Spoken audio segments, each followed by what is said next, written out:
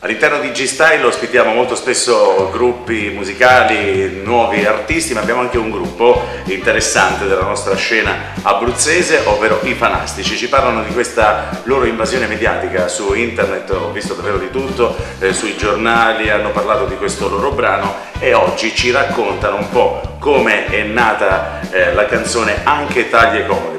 Potrebbe essere anche un tormentone estivo. Eh. Speriamo. Allora, raccontaci un po'. Allora, anche Taglie Comode nasce da eh, un'idea un di Giovanni De Berardinis, che è un mio collega, eh, un medico come me, eh, che lavora però fuori Pescara e ogni tanto ci vediamo per fare qualche stupidaggine musicale. Eh, lui ha suonato con noi, non con i Fanastici, ma un'altra formazione che sono i Papa Clash, eh, ha suonato come bassista e quindi anche lui ha la passione per la musica. Di tanto in tanto ci vediamo a casa mia e mi porta questi pezzi che scrive, questi brani che scrive e tra i vari brani che ha portato abbiamo individuato questo nuovo singolo che appunto si chiama anche Taglie Comode ed è una canzone tipicamente estiva anche perché è un giro di ed è classico delle canzoni estive.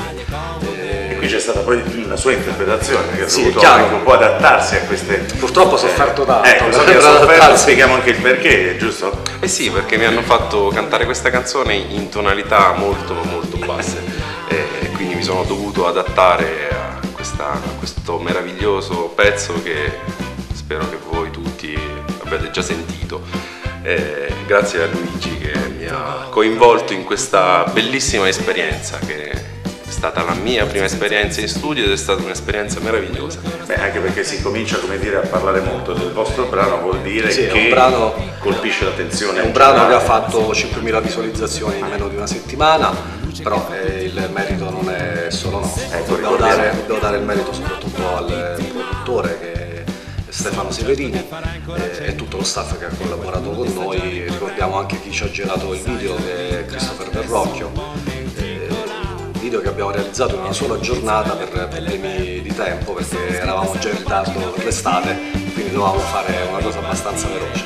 Eh, che però un video che piaciuto molto professionale è piaciuto parecchio vogliamo anche ricordare gli altri elementi del, del gruppo della vostra allora Fabio è la voce io mi occupo delle tastiere poi c'è Gianmarco De Bonis che è il chitarrista, Pietro Vari al basso e Marco Contento alla batteria. In più ci siamo avvalsi della collaborazione di altre persone per questo pezzo. Per questo pezzo eh, sono eh, Andrea Onofri al sax, Gianluca Viola alla tromba, poi abbiamo avuto la collaborazione con Sara Antonelli, detta Lescano, Lescano. che ha fornito la sua voce per i cori e in più eh, abbiamo avuto la collaborazione di Lucio D'Alessandro che ha fatto sia ripeto, il messaggio ma soprattutto ha suonato l'Hammond quindi uno strumento diciamo un po' antico ma che va anche molto di moda. Sì, eh, anche, perché, anche perché, è un brano che ha il sapore degli anni 40 grazie ai cori di Sara, eh,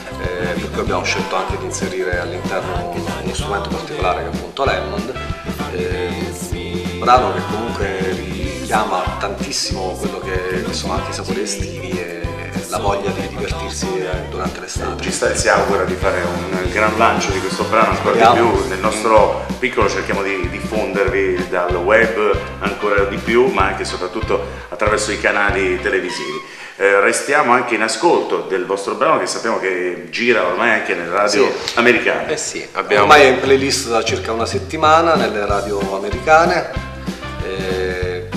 volesse può acquistarlo tranquillamente su, su, tutte le, piattaforme digitali, da iTunes a CD Baby a Amazon.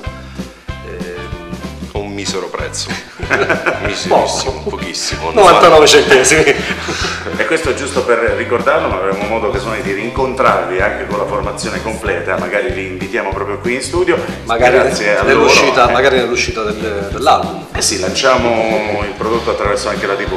Noi ringraziamo i fanastici e ringraziamo voi che ci avete seguito. Grazie. Grazie.